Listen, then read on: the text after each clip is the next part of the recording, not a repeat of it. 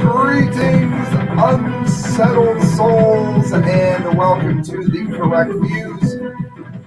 Sam I. B. Di Gangi doing political commentary for the Media Speaks.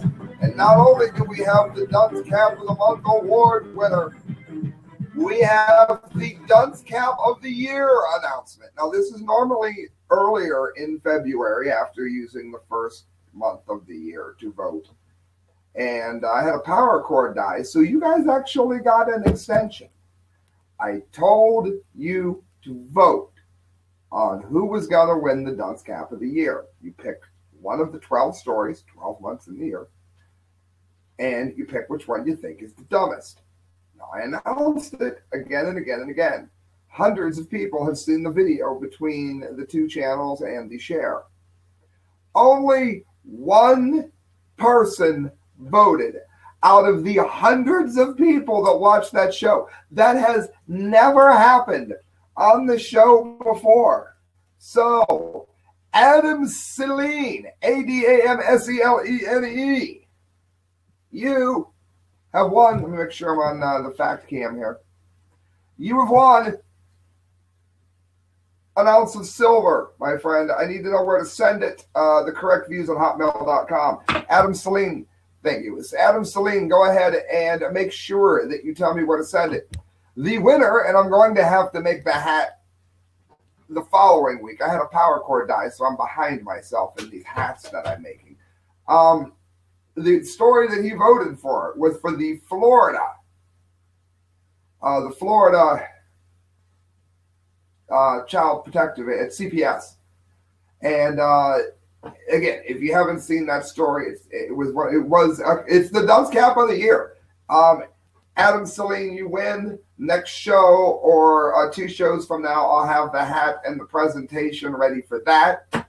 Which brings us to our show now, the Dunce Cap of the Month Award Show. If you're new to the show, sit back, get ready to listen to the biggest collection of idiots ever, anywhere on the internet. Every month, I bring you the dumbest people who have ever lived. I promise you.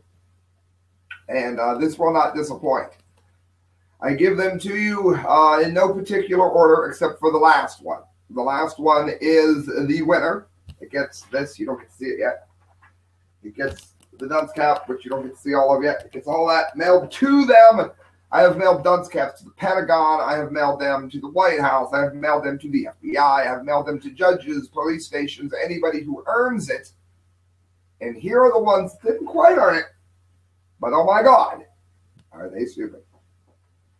Alan Salazar Marine Corps ordered to make job titles gender neutral. Prison Planet. The U.S. Marine Corps is under orders to integrate, integrate, eh, eh, I can talk today, integrate both male and female recruits at boot camp training and must alter job titles to adapt to a more general, gen, gender neutral tone by April. So, ISIS are teaching children how to use explosives. If you don't believe me, look it up. They are setting off the detonators that are killing so called spies in a car. We are teaching our soldiers, who are thankfully children, to be gender neutral because you may hurt somebody's feelings and be triggering. The Marine Corps, no less. The mandate is announced in the January 1st memo from Navy Secretary Ray Mabus to the Commandant of the Marine Corps asked the department to submit a detailed implementation plan to address the gender integration officer and enlisted basic training. In the submission, identify specifically where, if anywhere, this training is already integrated, where it is separated, and how long it will truly take to fully integrate these training. In other words, they're spending an enormous amount of time removing man from titles such as infantryman, rifleman, or midshipman. They are spending precious money dealing with ridiculous, ridiculous issues at a time like Donald Trump says that our military has uh, been ground down to such a degree that it couldn't possibly get much worse. We're dealing with gender neutrality in the Marine Corps. The Marines, for crying out loud. NBCNews.com, you'd expect it from the Air Force. I'm kidding. Private jets tagged with graffiti at LA airport. Now, the reason this got the Dundee is these people are millionaires and they're complaining. And again, I don't think the vandals, I think if they're caught, they should get popped. But what they're about to do is spend millions of dollars, I'm sure, repainting the airplane. As if a little bit of graffiti is going to make it immediately crash to the ground. They make it sound like it's money they have to spend. Vandals who broke into Van Nuys Airport Sunday night covered three different multi-million dollar corporate jets with graffiti, the second such incident at the Los Angeles airfield in the last two years. Uh, they were tagged on their fuselages, tails, and wings with URA and a large 872. Other smaller monikers sprayed in blue and black paint on the panes included URAF, Mark B, and Glock uh, dollar sign. Primary estimates range from tens of thousands of dollars to potentially millions of dollars. Yeah, because we all know that graffiti, there you see it on Fact Cam, graffiti will immediately cause a plane to crash to the ground. Bunch of rich, prissy bastards. How many of you listening to this would happily take a plane no matter what was spray painted on it? I swear, you could put something sickening on it, like Hillary for president. It's still a plane. I'm telling I told you it was sickening. Um, Victor Skinner, moving on to the idiots. University seeks to broaden free speech by banning offensive costumes. That is to say, any costume. They've all but destroyed Christmas in the public. And now they're going to destroy the fun that is Halloween. And that's what it is because most of us have no interest in the actual they, you know, they used to slaughter children on Halloween. I'm sure they did. I, I, I don't think dressing up in a Halloween costume makes you a Satanist any more than wearing a cross makes you a Christian. But what they're doing here is remember when students used to have a pair? Remember when they used to rebel and stand up for free speech and were worried about what's happening in our college? Now we've become a bunch of mamby-pamby panty wastes that need our own safe space every time somebody hurts our tender gender-neutral feelings. The Edinburgh University Student Union claims that it was working to broaden free speech when it banned students recently from wearing any type of costume that might offend anyone. So taking free speech away broadens free speech. That's great. Students can no longer dress up like Native Americans, Arabs, Nazis, or depict brutal police brutality because those costumes are based on racial or cultural stereotypes. Yes, that's why they're funny and that's why they should be worn. Students are also now prohibited from wearing any outfits that mock or are based on stereotypes of disabled people or cross-dressing to the point of humor. No, but uh, that, you you wouldn't be able to tell. I mean, look at Jenner. That guy's a mess. Yes, I said guy. That means dressing like Caitlyn Jenner is out, as is a Chris Brown costume, because they use gender based or sexual violence for the purpose of humor. So you can't dress up like Chris Brown and Ree Hapless. Um, God, I hate those two. The music is just dreadful. The new rules, which also ban costumes depicting Pocahontas, Mexicans, black-faced men, gangsters, and others, is the latest in a long line of politically correct edicts. Now, see, I'm part Italian, I'm part Mexican. I'm sorry, bring me the sombrero. Uh, be the gangster with the spaghetti and meatball prop. I'm sorry, I'm not a panty waste that needs his own free space. I'm sure I'll live. Jim Hoft, Gateway Pundit, moving on with idiots. I'm going through these because I don't want anyone to log out. I really want you guys to stay with me for all of these because these are, I'm telling you, they get dumber as we go. Nuts. George Soros says we should not fear Muslim extremists because they kill us. That seems to me to be a good reason to fear someone. Again, not all Muslims. He said extremists. Now, I know a lot of people that are terrified of, say, spiders or snakes. They, by and large, depending on where you're listening to this at, unless you run into a water moccasin, you're not likely to end up with a poisonous snake bite here in Ohio. if you were to get bitten by a snake, it's probably not as bad as catching your fingers in a pair of pliers when you're working on your car or getting stung by a bee. Terrified of it. Spiders, which absolutely, unless you get a black widow or a um, wolf spider up in Ohio, you're not going to be in that much grief. Terrified of them, like shrieking. And yet, you hear nothing. You shouldn't fear the person with the bomb. Far left billionaire George Soros was an early supporter of failed President Barack Obama. Soros was behind the Occupy Wall Street movement. He was also behind Black Lives Matter, which, of course, is uh, a parody of itself at this point. Soros was behind the IRS targeting scandal, and his funds he funds leftist media operations, including NPR and Media Matters. But now, for the rag known as the Guardian, we'll get to other rags later. Soros argues that the West should not fear the Islamists just because they kill us. No. Why, why, why else would you kill them? Friends, what else is it saying? You can see the whole letter there. But the point is, he said, scientists have discovered that emotion is an essential component of human reasoning. Yeah, it's just our emotions that make us fear the man with the bomb. He said extremists. He didn't say you shouldn't fear Muslims because of uh, uh, they blow you up. Because no, the ones who are blowing you up, you should not fear because they are blowing you up. That is mind-blowingly stupid. WashingtonTimes.com. Black professor chastises white Americans. Admit to the racist poison inside of you. Now, I don't know how many people listening to this caught my uh, piece on white privilege. If you haven't, type in correct views, white privilege. Um, it's part two of three. Uh, it's on the, uh, you'll see the banner, the thumbnail. I laid down exactly what is wrong with races and interaction in this country. So I'm not going to go over it again now.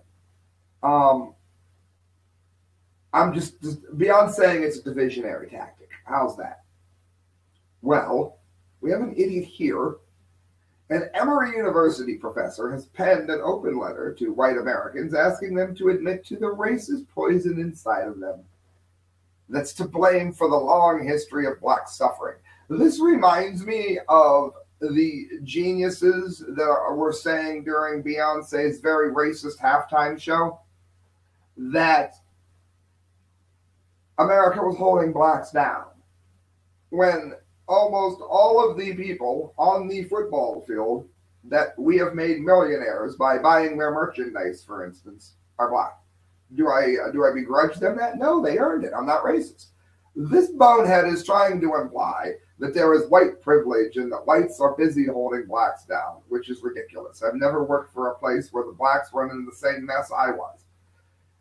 In Dear White America, they don't want you to realize it's a mess, so they keep you fighting each other. In Dear White America, published by New York Times philosophy professor George Yancy, called the letter a gift to white people. But the gift could be heavy to bear, but he gives it freely to take a deep breath and make a space for my voice in the deepest part of your psyche. He sounds like a, a, a Jim Jones trying to brainwash you. Believe everything I say. Try to listen to practice being silent as I lie to you and give you BS.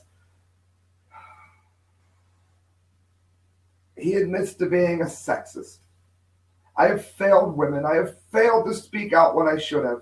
I have failed to engage critically and extensively their pain and suffering in my writing because it's so painful to be a woman. I have failed to transcend the, the rigidity of gender roles in my own life. I have failed to challenge these poisonous assumptions that women are inferior to men. I don't know that anybody's ever assumed that, but he insists that we have, or at least he says he does.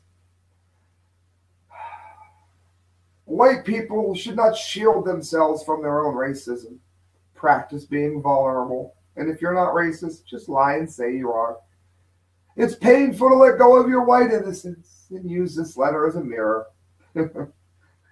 fractured one, one that refuses to show you what you want to see, and one that demands that you look at the lies that you tell yourself. I'm asking you to enter the battle of your white self.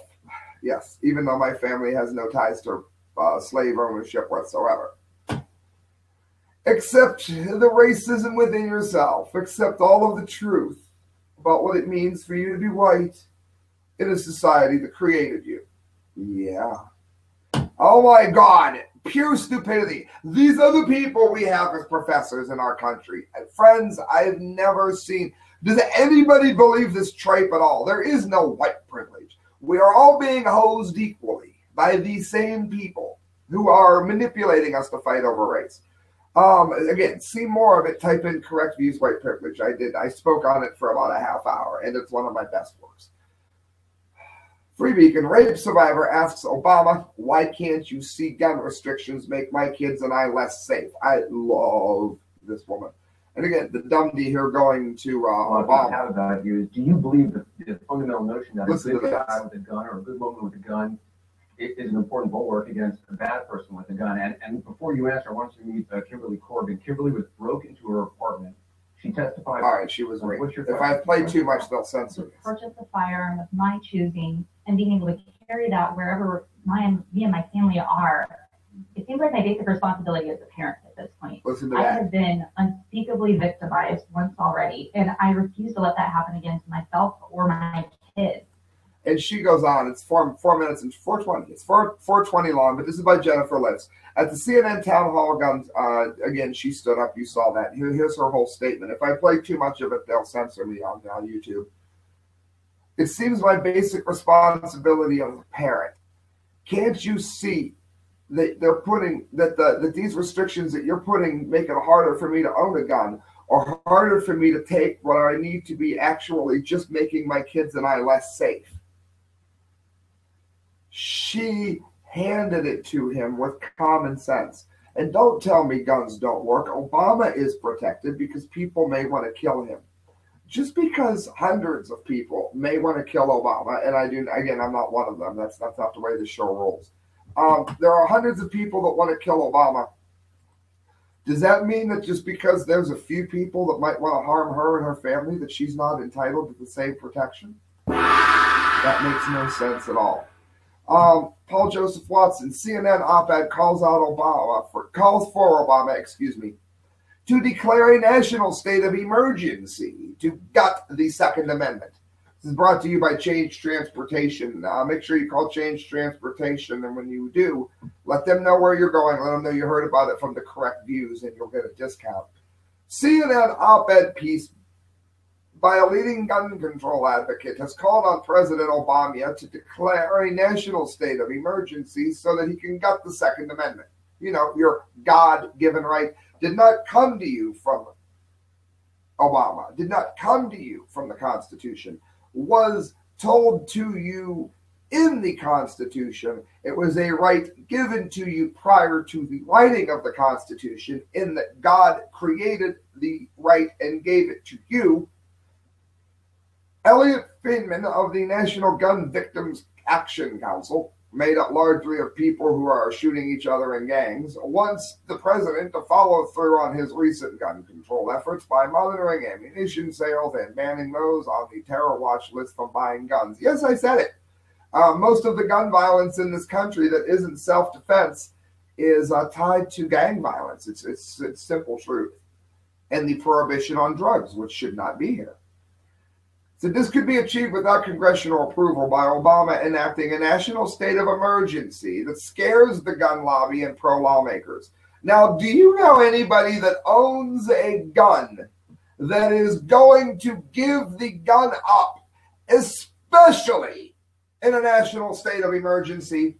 If that sounds stupid to you, make sure Elliot Fineman at the National Gun Victims Action Council hears from you. That's why I do these shows. I do them so, so that I can show you the stupidity that is extant in our country. And then you can contact these people and do something. Gateway Pundit, another another dummy for Obama. I remember hearing once Eddie Vedder Oh, I'm popular and I hate being popular. My ass, you hate being popular. You wouldn't be in Pearl Jam if you hated being popular. Anybody hearing me here? Obama just did it. Unreal. Obama says the cele- that the celebrity gets old. Not the, not not being a celebrity. The celebrity gets old. On the same week, he does Grylls and Jerry Seinfeld shows. It's fair to say we've probably never seen a more narcissistic and oblivious president in U.S. history. In the latest taped interview, Barack Obama says he focused on safety. The world is on fire, prosperity. Americans make less money today than when he became president seven years ago, and tolerant race riots are breaking out all across the country. I love the way that's worded. Tolerant race riots. To be tolerant. Let's riot. Obama then says the celebrity gets old. And it's the same week that he just did the Bear Grylls show and a driving show with Jerry Seinfeld. So it gets old being a celebrity, and yet where does he place himself? Directly in celebrity status, above and beyond what his job is, to make himself more of a celebrity. Alan Salazar, he gets another story in on this one. Uh, Prison Planet. City demands firearm applicants write an essay explaining why they need a gun. Uh, let me ask you, do you write an essay explaining why you have the right to free speech? Do you write an essay explaining why someone has to have a warrant to come into your house? Do you understand that these are rights? Okay. Okay. Then why would you need one for your God given right to own a gun? Maybe you want to defend yourself from the crazy thugs outside your house shooting each other. And no, I don't mean color because there are plenty of white thugs shooting each other. There are plenty of Asian thugs shooting each other. They are thugs. A new policy in a Massachusetts town imposes burdensome steps on residents who want to obtain a license to carry a firearm, an essay exam, and a $1,000 training seminar. 1,100. So now you have to pay for your God given right. Pro firearm supporters in Lowell last Tuesday pleaded with police and city administrators to ease new gun regulations, which, among other things, now require an essay of anyone applying for an unrestricted firearm license. And someone wrote, I will never write an essay to get my rights as an American citizen. Resident Dan Gannon reportedly stated at the city council meeting last week, according to the Lowell Sun. No, should he. Um, again, uh, get a hold of this. I'm telling you where it's at. Lowell, L O W E L L. Call them, call their city council, call the mayor's office, let them know this is an infringement. An essay when you're in school is when you write something, you turn it in and they grade it, attorney Richard Chambers told Fox News. This is an essay. And it's also just another layer of bureaucracy they've tracked to block people from exercising their rights. And that is exactly true. Absolute mind rot, friends. Truth Revolt, Caleb Howe, Melissa Harris Perry, who's never said anything right in her whole life. Confiscate guns. This is one of the big dummies. This is one of the reasons I told you to hold on. Confiscate legal guns to stop men shooting their wives. Not to stop wives from shooting their husbands. Second of all, what?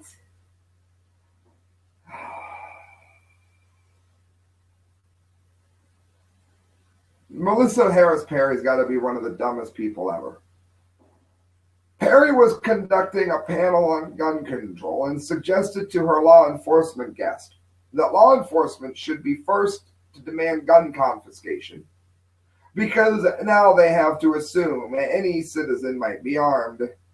After being confronted with the fact criminals who police are faced with are usually using illegal guns, not legal guns, Harris Perry parries that men are shooting their wives with perfectly legal guns. Yeah, because that prior to her saying it, nobody even thought of it. John Shane, well, do you have a lot of Second Amendment officers? I happen to favor carrying a gun myself. I don't think there's much wrong with it. The reality is that we are going to keep the illegal guns away from people. It's a very easy thing to keep guns, she interrupts, which she loves to do. A lot of people shoot their wives with perfectly legal guns, he says, and so they wouldn't if they didn't have them. So, so then Shane says, but we're not going to take guns away from people. We're just going to make it harder for law abiding citizens to get them. They wouldn't if they didn't have them.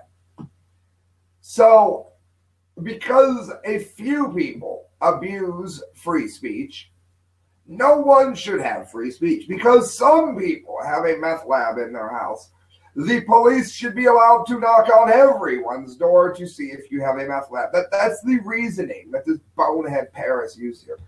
Hey, idiot, idiot. Uh, campusreform.org. Portland Community College to devote an entire month to whiteness shaming. Of course, pushing the lie of white privilege of which there is none. We are all equally hosed.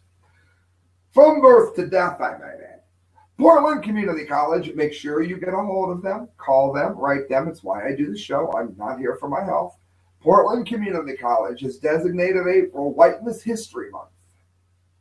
Even WHM, an educational project exploring how constructive whiteness creates racial inequality. There is no constructive whiteness. That is a lie in and of itself. This these are colleges trying to give out free A's to get people to take stuff and make them feel good so they come to class every day so they can learn something of no value whatsoever in the real world, even if Donald Trump does manage to get the jobs back.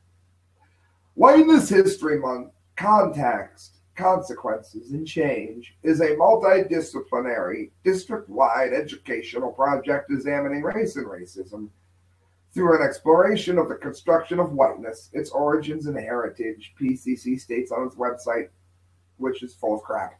Scheduled for the month of April, the entire month, the project seeks to inspire innovators and practical solutions to community issues and social problems of race, racism, such as blaming whitey. It says that the project is not a celebratory endeavor like Heritage Month, but is rather an effort to change our campus climate. Yeah, by shaming Whitey. Not only does the concept of whiteness allow those who are socially deemed white to accrue more benefits, untrue, the page asserts, but those benefits are accrued at the expense of people of color, also not true. None of what this thing teaches has any truth in it, and yet it's considered a college program. God. And then people wonder why we're voting for Trump in droves. Why is a libertarian voting for a populist? Because somebody has got to bring common sense back to this country. Because nothing I just read to you and that has any basis in truth at all. There is no white construct. There is no white privilege. There is no special anything for white people. We are all under the same outsourcing issues. We are all under the same death of the middle class. So I don't want to hear it dailycaller.com. The next big thing, this is even dumber, fat studies courses, fat awareness groups spread across university. Guess what? I'm a little fat. Guess what? I shouldn't be. You don't need to go around and fat is good. There's nothing wrong with being fat. Yes, there is. First of all, it's ugly. If you don't like it, I'm sorry, it's ugly. Second of all, you're killing yourself. The fatter you are, the more you're killing yourself. So no, it probably should not be considered normal. Do I think that if someone is fat, they should be harassed and hounded and bothered and treated like crap? No, I had plenty of that when I was growing up. I'm slightly overweight. I used to be huge. I get it. But this is not the answer, people. This is a road to cancer, sugar, and heart disease. These blimps in the picture, no, that's not okay. They're killing themselves somebody's going to be without a wife or a sister over that. No, it's not good. Described as an emerging academic field that focuses on combating weightism, fat stigma, and weight based depression of fat people. Fat studies courses are popping up on college campuses across the country. Again, as a nation dies and there's no, nothing to teach anybody to do because there's no opportunity, these ridiculous things pop up typically found in women and gender studies departments, which never has any useful classes. That's why they usually have to thrust them on anyone who isn't a feminist. Fat studies courses don't study obesity as a leading cause of death in America, which it is, but rather approach fatness as a social justice issue and usually focus on fat liberation movements and activism as ways to combat the stigma attached to obesity. I agree with Steven Crowder. You are not going to change what we think is pretty by telling us that we think you should think it's pretty. You are also not going to stop a heart attack by saying that you are equal to somebody who is of normal body weight, therefore your heart must not be weightist and uh, die on you. During winter 2016 term that's happening now, Oregon State University, again, contact Oregon State University and let them know that they're a crappy institution, is offering a three credit course simply titled Fat Studies. Three credits. Talk about an easy A. Just smile and nod with all this insanity of which you know none of it's true. And then you're going to wonder why people are taking guns across the state lines without telling anybody so that they don't have to write an essay on how to get a gun. Now you're wondering why more and more people are questioning why they go to college. These stories all tie together. They all tie together how, how all of our institutions are ultimately betraying us. According to the website, the course frames weight based oppression as a social justice issue, exploring forms of activism that counter weightism. How about fatty just lose weight and doesn't expect the rest of society to kiss their ever widening ass? How about that? How about we do something to get the salt content out of our food so that when you eat like a normal person, which I actually do, you weigh a more normal weight? But no, let's just keep stuffing ourselves to the point of death and call it normal. My wife, I don't know what she eats, but the stuff that comes in a box, it's like salt and water. There's no food in it. And no, she's not fat. The point is, it's it's going to kill you. This food that we're eating has no nutritional value, and much of it is incredibly fattening. She just doesn't eat a lot. And again, I didn't marry a huge heifer. Why? because while I don't wish them any ill, it just isn't pretty. And if you do find fat people pretty, then that is great. Because I don't want to go in the other direction, but I'm not going to sit here and promote it as healthy. I'm not going to do it.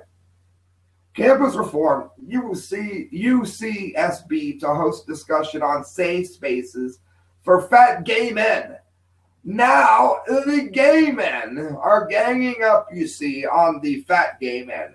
So now not only do fat people need their own safe space, but now fat gay men need their own safe space because of weightism and you don't like gay people. The University of California, Santa Barbara will host a book discussion next week to discuss the anti fat stigma that persists in American culture, especially for fat gay men. Mirth, girth, and the politics of stigma with idiot author Dr. Jason Whitesel at Pace University. Pace, P A C E, where you want to call, let them know that this kind of stuff is mind rot, is being hosted by the UCSB Resource Center for Sexual and Gender Diversity. Yeah, because, you know, figuring out which hole you want to put it in needs an entire diversity training center. According to the event page on Facebook, 34 of the 199 students invited have indicated that they will attend. To be fat in a thin, obsessed gay culture can be difficult. But I thought gays were so understanding and so open. Never mind that gay people routinely are more misogynistic than straight men. You're supposed to talk about that. They sound like hip hop artists, they're so misogynistic. The Research Center's description of the event begins Despite affectionate in group monikers for big gay men like chubs, bears, and cubs, the anti fat stigma that persists in American culture at large these individuals who often exist on the margins of gay communities. So, we're going to waste time in college to understand the needs of whiny gay fat people. Again, I have nothing against fat people. I'm one of them. I have nothing against gay people. I'm not one of them. But this here is mind rot. Speaking of Crowder, who I think is the best journalistic writer writing today, new feminist cause words in the dictionary are triggering. Louder with Crowder. While women in Europe are being sexually assaulted, and there's links for all of this on FactCam, you can see them. While women in Europe are being sexually assaulted in record numbers by Muslim men, and the women have been blamed for it by the imams, which are the teachers of Islam, and unborn baby girls are being killed and their parts shipped for research, you may have missed the latest outrage of the day for feminists. Nope, it's not the Olympics letting gay men compete as women, believe it or not. Dig deeper No, it's not letting trans women, which is men, using women's bathroom and being super creepy. It's a busy world full of sexism and grievances against women. So there's much to sort through. So, what is the feminist priority this week? Words in the dictionary. I poop swastika you not. I love how he writes.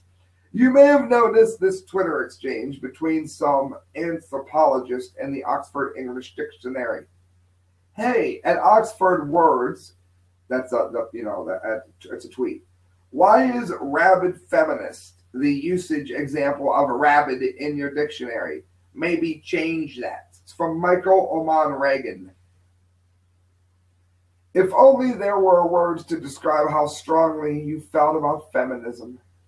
By the way, rabbit isn't always negative, and your example sentences come from the real world use art definitions. This is from Oxford, the dictionary.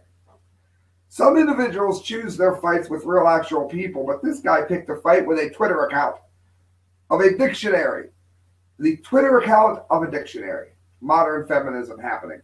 Rabid feminist is not the only example provided by the Oxford English Dictionary that didn't sit well with Oman Reagan he also pointed to words such as shrill, the rising shrill of women's voices, psych, I will never really fathom the women's psyche, and the housework. She still does all of the housework as examples that of embedded within the language because they're written that way as an example in the dictionary. Having studied, studied social cultural linguistics, I know that dictionaries are not only describing language, they also describe and shape the way language and meaning is produced and standardized, whether that is the intention of the publisher or not. Oman Reagan wrote, noting that Oxford is the default dictionary used by Apple Mac OS X operating system. Because you gotta use a Mac when you're when you talk like this. Though, of course, being leftists who trumpeted the full faux horns as far as the ear can hear it, Oxford agreed to review the example. No word yet on if they're going to look into examples of words being applied unfairly towards men. So he writes, I love Crowder, decided to open up his dictionary of his Mac to see what he could find. Brute. A savagely violent person or animal. He was a cold blooded brute. Informal, cruel, unpleasant, sensitive, being unfeeling. Yes. Adjective. Male usage. Look at that. So, how is that not a stereotype? Oxford has applied brute to the male pronoun, he writes, and I'm angry. Insane in a state of mind that prevents normal perception, behavior, or social interaction, seriously mentally ill, certifying patients as clinically insane, such as, example, he has gone insane. He writes again, what? Here again, insane is applied to male pronouns, except, of course, when applied to being foolish, and then it's applied to a woman. Monster, an imaginary creature that is typically large, ugly, and frightening. The example is Christopher, male, is only one year old, is only a one year old, but already he is a little monster. So monsters are men. Oh my God. So I can do a faux outrage. I can do the faux outrage thing too. All that requires is a caps lock key and some well placed exclamation points. I absolutely cherish the way that he writes. I, I, can't tell you enough. I think he is one of the best writers extant today. So here you go, friends. We have, as my computer tries to freeze, we have a country that is locked into the most ridiculous of arguments. And if you think it can't get worse, it can. We have two stories left, and the second one is the winner of the Dunce Cap of the month. I want to give a shout out to Sticker Junkie, who sponsors the show. Not only do they sponsor the show, they make amazing stickers, absolutely freaking amazing. And when you go to get your stickers made, even if you have a rough idea, you're going to love what they come up with there. And if you type in the correct views when you check out, You're going to get a discount as well. Go to stickerjunkie.com. Be glad that you did. The runner up for the Dunce Cap of the Month award. This was the one I picked as the dumbest, but then it was talked about and uh, we changed it to the following one. But get ready, friends. This speaks volumes about where our country is today. When you can um, break into somebody's house at will without a warrant, or get a warrant for a SWAT team and break into the wrong house and scar a baby with a smoke grenade, which has happened.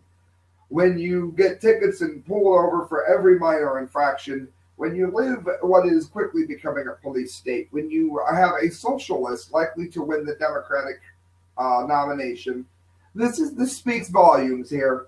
Kit Daniels' Bill of Rights birthplace has been partially demolished by a developer. The building, as it stands now, is rather indicative of the current state of our Bill of Rights. Serving as a microcosm of the Obama administration, a real estate developer partially demolished the reputed birthplace of the Bill of Rights. The developer, who gets mentioned as the Dundee runner up Triple Crown Corporation, if you want to get a hold of that, secured a permit to demolish a two story building formerly known as James Bell Tavern in Silver Spring Township, Penn. But by the time a third of the building was destroyed, the city stopped the demolition because officials realized the Bill of Rights was conceived at the tavern in the 1788 meeting. How appropriate The part of the building that has been torn down while other parts remain, commentator W.C. Handy wrote on the Sentinel newspaper's comment line.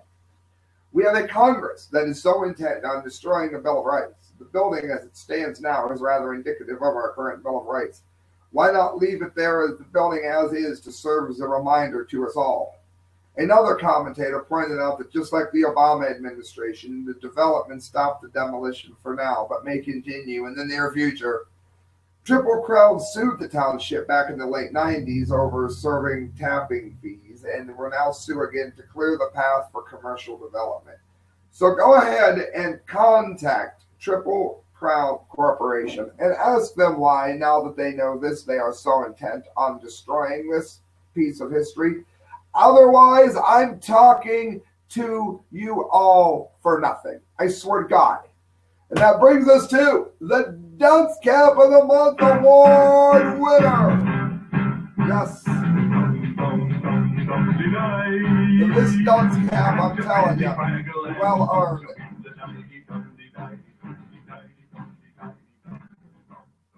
Dum, dum, dum, dum, de, dum. It goes to Rolling Stone and Sean Penn.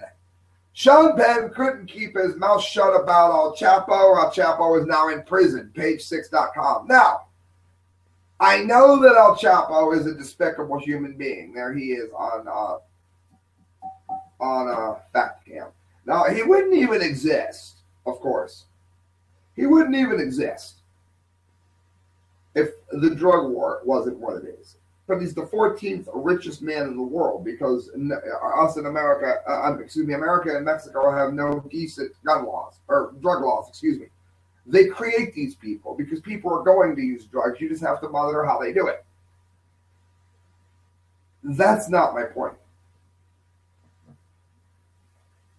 If uh, even the, the lowest of rag has some kind of journalistic merit, there have been dictators. There have been countless people interviewed. You can interview Bashar al-Assad, who they're trying to throw out of Syria. It is journalistic standards that even if the person is a crappy person, you do not do anything that would get them arrested, triangulated in a, a phone call for one thing. To the people that you interview. If you do, it's a sign that your paper doesn't have any integrity, doesn't know what it's doing, it doesn't know how to handle its sources. Well, listen to this. And Sean Penn, we all know he's a despicable human being. Uh, it seems that he would write for such a leftist crap mag as Rolling Stone, as a, as a music fan and a rock and roll fan. I have been so utterly let down by the tripe that is in this magazine that I could die praising mindless hip hop, pretending that Beyonce has a voice, putting Kanye West out as Jesus Christ. I remember in 1982 when the Who was breaking up. My even at nine years old, I was a music fan. My dad bought me a Rolling Stone magazine, and there was an article on lesbianism in it, which he probably didn't know. That's how they get into people's heads. Am I against lesbians? No, but you get my point. So I'm reading about these whiny lesbians saying it's easy for men to hate gay men, but they ignore lesbian women.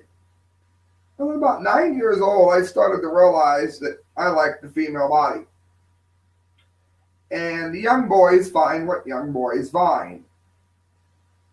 In porn magazines, women do things with women. I had no clue. I had seen this these kind of dirty pictures prior to the Rolling Stone magazine by like mere weeks by Dunlop. And I remember thinking that women on women is considered attractive to men. So I, I, I picked up even at a young age that there was something wrong with his magazine. At nine years old, I couldn't have known they were indoctrinating you to the left. They have just they have heralded the destruction of music. They have not been worth reading since the bigger format took over, the smaller format took over, and they have been a leftist rag before that. The mighty have fallen. There was a time that Rolling Stone mattered. They are terrible. Even my best friend Dan canceled his subscription. They are a useless, major label, ass kissing rag of no merit whatsoever.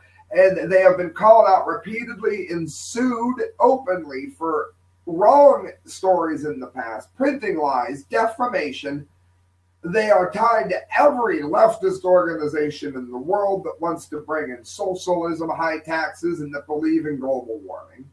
And now this. Sean Penn turned to Beverly Hills famed Polo Lounge into a war room for strategizing how to handle his El Chapo controversy over Golden Globes weekend. Yeah, because El Chapo's little gang is probably going to kill him. There's rumors that he works for the CIA, which I'll get to in a minute would be uh, very odd. While spies said he consulted with a team that included a former State Department staffer and a political consultant, the star perhaps neglected to consider half of Hollywood could hear everything he was saying. So he was bragging in a loud voice about how cool he was and how big he was and how amazing he was. So he went ahead and started bragging about interviewing El Chapo, who has escaped from prison twice and got him arrested again. Now he'll probably get life in prison, they might even kill him. And again, I'm not saying he was a good man. I'm saying that this is a reflection of very bad journalism from a very bad journalist. He's a very bad writer. He's a crappy, arrogant, conceited, dirty person. He was running around like Woodward and Bernstein, uh, Nixon, at the Washington Post, strategizing as much as possible, even before the El Chapo story broke, said an amused spy. They were loudly talking about El Chapo, and everyone was thinking, is this his next project? Of course, then the story hit. But as te- now listen to try to lie his way out of it. As Penn's team met daily, it was like bad journalism 101. They're meeting in the middle of the Polo Lounge, and they are talking so loud. The place was packed for the Golden Globes. He was trying to sound good, trying to get laid, trying to talk among people and how cool he was. Don't you love me? I'm Sean Penn. I interviewed El Chapo. Want to hear about it? I'm going to get him arrested like an idiot. He was standing up while talking to them. Couldn't they think of any place else to meet? No, he wanted the attention.